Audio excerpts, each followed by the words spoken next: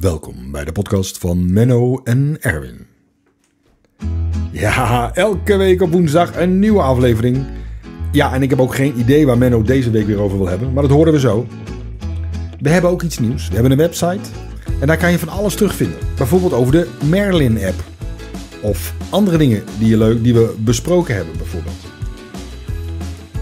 Ga naar www.mennoenerwin.nl ja, Menno, veel belangrijker. Waar gaan we het over hebben?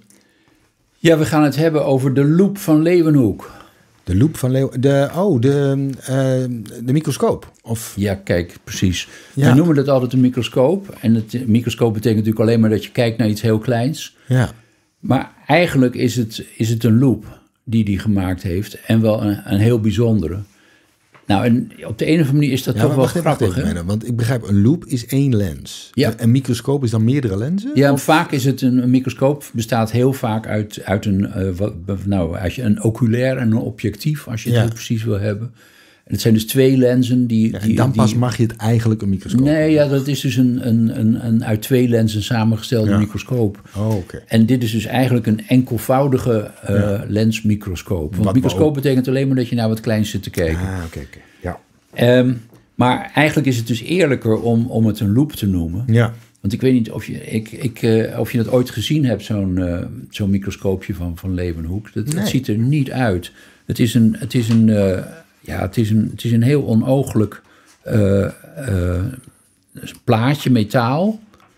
En er zitten wat schroefjes aan. Ja, even, even voor de podcastluisteraars. Menno geeft mij nu een boek en ik kijk nu naar de loop van, van Leeuwenhoek. Ja, dat is wel heel bijzonder. En er zit Maar een heel dit, wat- klein... wat, is eh, dit voor prachtig oud boekje, Menno? Ja, dat is een boekje over, van een, van een historicus van de wetenschap. En dat is uitgegeven ter gelegenheid van zoveel jaar microscopie. En, eh, en dat, Ja, dit we is gaan- een, het beschrijft dus het, het, een van de ehm, van Leeuwenhoek microscoopjes die in het bezit is van het, het eh, museum in Leiden. Ah, oké. ehm, waar ik, ik waar doe die even hele een collectie ik is. doe even een plaatje in onze nieuwsbrief. eh, Ja, zeker. Ja. En ehm, eigenlijk was het dus een. een hij sleep een, een glazen lensje. En daar was hij verschrikkelijk goed in, meneer Van Leeuwenhoek. En dat plaatste hij tussen het metalen, twee metalen plaatjes, zette hij dat vast. En dan verder had hij ja, wat schroefjes waarmee hij dan een, eh, een voorwerp op kon sp- spiezen. En dan precies kon richten voor, die micros, voor dat loepje. Ja.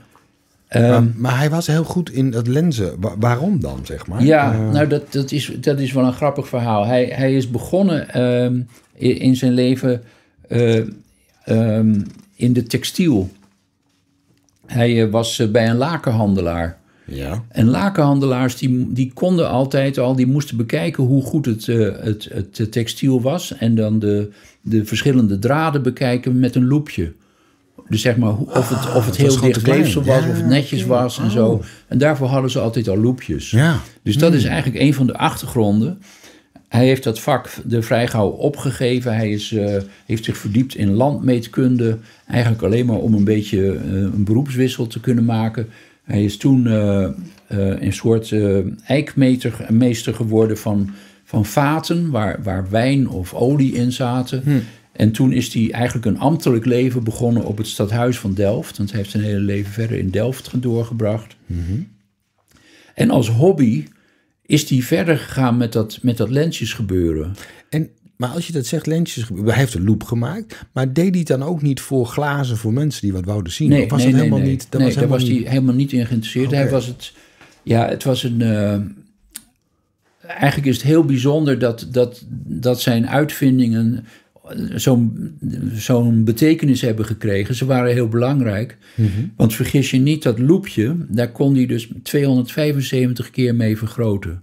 Dat was voor die tijd revolutionair. Ja, En het was niet alleen de vergroting, want als je, je, je kan wel iets heel erg vergroten, maar dan kan het nog steeds heel wazig zijn. Maar het was ook heel scherp, het beeld wat hij daarmee kon maken. dus hij was daar ook heel goed in dan. Ja, hij was daar extreem goed in.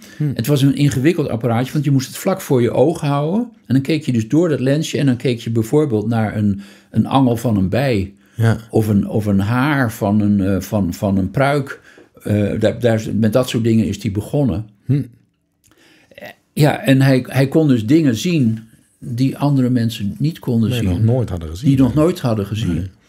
En, maar niet alleen dat hij dus een, een technisch goed was, maar hij had ook de, de vaardigheid om naar de slimme dingen te kijken. Om naar, bijvoorbeeld, hij pakte dan slootwater en dan, dan, deed hij, dan, dan, dan, dan maakte hij een klein houdertje en dan kon hij kijken in dat slootwater en dan zag hij allemaal heel kleine bewegende beestjes. Ja. En tot dan toe dacht men dat het kleinste beestjes, dat dat meidjes waren. Van die kleine insectjes en die spinachtige beestjes die dan... Nou, die waren echt heel klein, die kon je nauwelijks met blote oog zien. Maar ja, zijn, be- zijn beestjes waren heel veel kleiner. Een factor duizend kleiner soms. En hij is dus echt degene geweest die al voor het eerst bacteriën heeft gezien. ja. Die heeft hij van... Herkende hij dat dan? Wat, wat nee, hij beschreef het als, als, Oh, als kleine eh, kronkelende beestjes. Hij realiseerde zich dat het levende beestjes waren. ja. Ehm, of levende wezens waren, want ze, ze bewogen. Ehm, hij haalde het van, eh, van, van tandplak, haalde hij het af. Ehm, hij haalde het uit allerlei, eh, van alle- allerlei organen. Hij ontdekte voor het eerst eh, rode bloedlichaampjes. Eh, dus de schijfjes van, van de, de Ja. rode bloedcellen. Eh, en heel spectaculair, hij is degene die ook eh, sperma eh, onderzocht heeft. En tot zijn verbijstering zag dat dat vrolijk rondzwemmende Ja. eh, mannetjes waren met een staartje eraan. Eh, ja, verbijsterend. Ja. Wat hij dus ook steeds gedaan heeft, hij heeft geëxperimenteerd. Hij heeft eh, water in een bepaalde tijd laten staan en dan kreeg hij ineens andere eh, dingen die hij zag. Dan ontwikkelden zich andere bacteriën. Eh, hij hij gooide de peperwater dan, en dan kreeg je weer andere organismen. En hij is, heeft dat ook beschreven. En vervolgens is het een geluk geweest. Er was een, eh, een, een arts in die tijd. Die, die heeft hem in contact gebracht met eh, de Royal Society in, in Londen. Die was net opgericht. Dat was een soort natuurwetenschappelijk genootschap. Want welke tijd zitten we ook alweer ongeveer? We zitten, hij is eh, geboren in 1632. Oké. Hij heeft lang geleefd. En hij is overleden in 1723. Dan was hij 90 jaar. Ja, zo.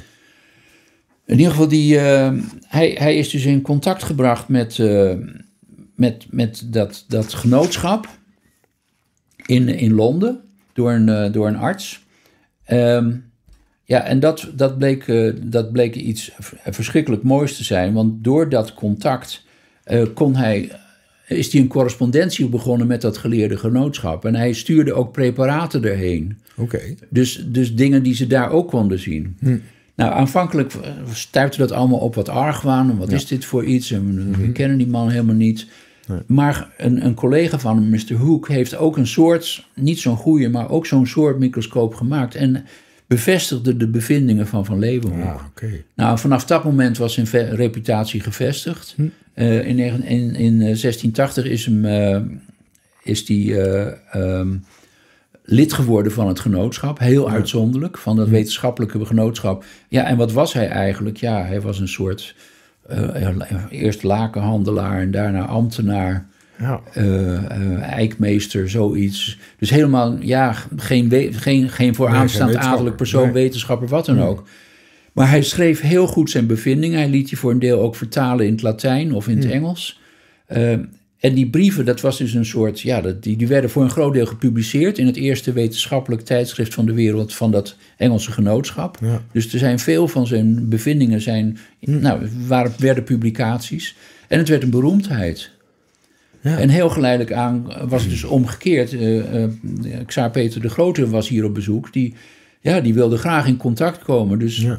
nou, het was wel wat makkelijker dat hij eh, naar het schip ging... waar Xaar Peter de Grote in Delft lag. Ja. Want anders was er te veel volksomloop. Maar hij heeft dus een microscoopje laten zien. En, en Hmm. nou, Xaar Peter de Grote heeft door zijn microscoopjes gekeken. Ja, en was verbijsterd. Maar hij verkocht het dan niet of zo? Of dat- Nee, het bijzondere is, hij heeft, eh, hij heeft eh, ehm, honderden microscoopjes gemaakt.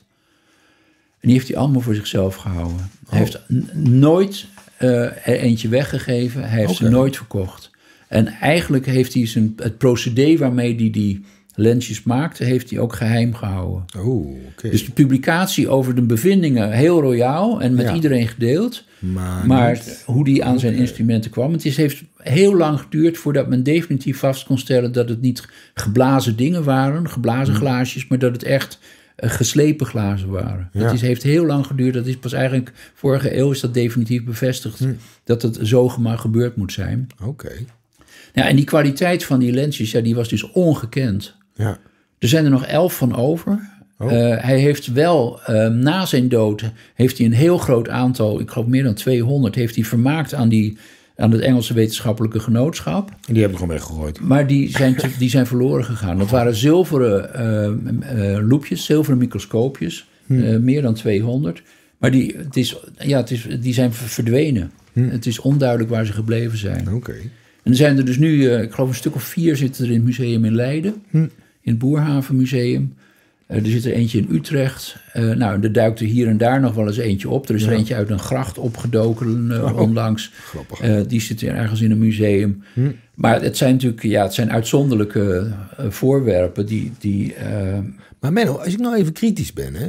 Hij kon als eerste zo minuscuul kijken. Ja, En wel dingen beschreven. ja.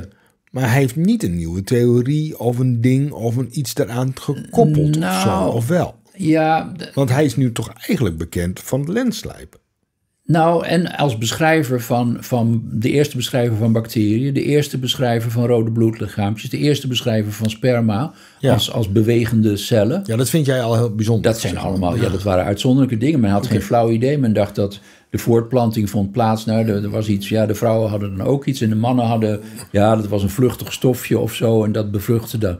Geen flauw idee van bewegende mm, eh, eh, mannetjes toen, die. En toen eh, was het van, kijk, dit is het. ja, ja, ja. want hij bevestigde dat. Want hij was een hele vergelijkende onderzoeker. Hij onderzocht ook niet alleen sperma van, van mensen, maar ook van dieren. Ja. En zei: hé, hey, dat ziet er precies hetzelfde uit. Ja. Dus hij was. En hij experimenteerde dus heel veel met het, de manier waarop hij eh, eh, zeg maar bacteriemengsels bestudeerde. Ja. Dus het was echt een, eh, ja, een, een, een, een, heel begaafd experimentator eigenlijk. Hm.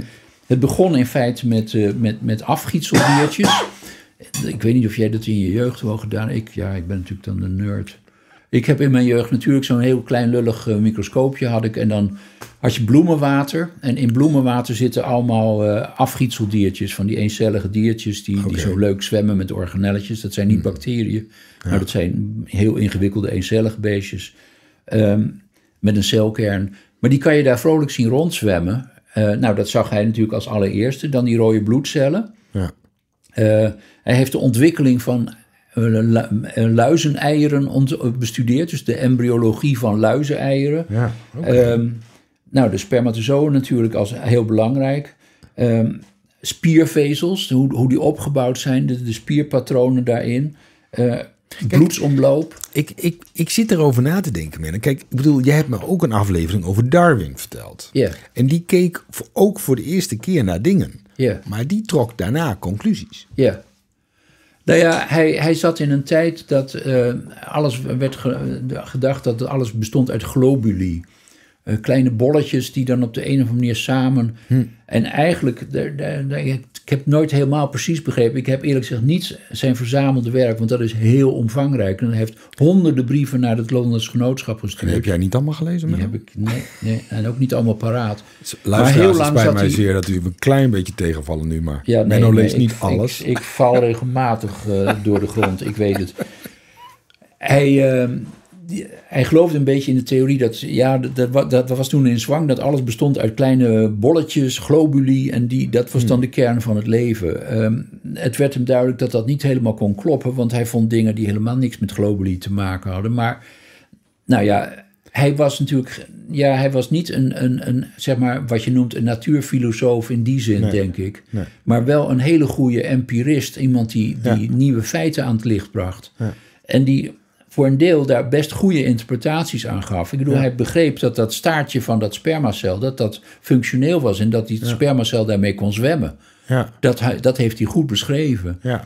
En, eh, Kijk, en dat is ook wel weer bijzonder, dat hij dat dus fantastisch snapte en be- beschreef. Terwijl hij dus ook een ambacht had om dat glas te slijpen. Dat is natuurlijk ook wel Ja, weer natuurlijk. En het is in feite een Ja. soort combinatie van handvaardigheid en daar iets heel slims mee doen. Ja, Ehm, hij, eh, maar hij heeft ook bijvoorbeeld heel bijzonder, heeft hij in een eh eendehart een, een soort netwerk in een spierweefsel ontdekt.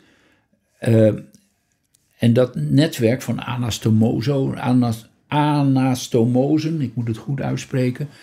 Dat netwerk is pas in 1849 weer herontdekt. ja. Dus hij heeft dingen beschreven die hebben dus meer dan 200 jaar eh, ja, stilgelegen. bleven ze in het vage. Tot ze werden gezegd, hé, hey, maar daar was Hm. Hm. de observatie van, van, van Leeuwenhoek en het klopt.